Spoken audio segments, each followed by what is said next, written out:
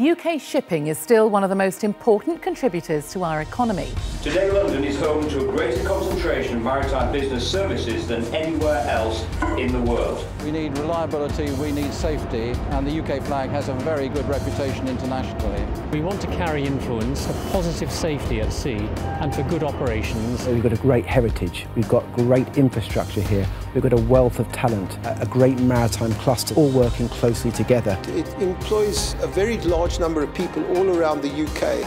The cadets learn not only about managing a bridge or managing an engine room, but they also learn how to prepare for emergency situations when they're on board a ship.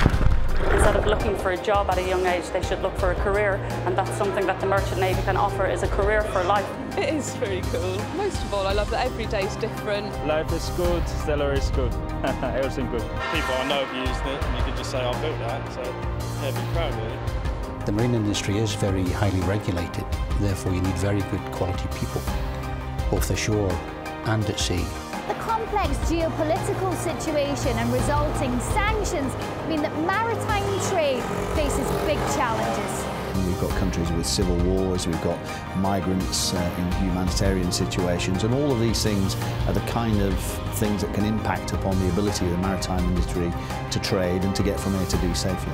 Making sure that we're creating the most innovative, the greenest and the safest ships, which will be the future of shipping.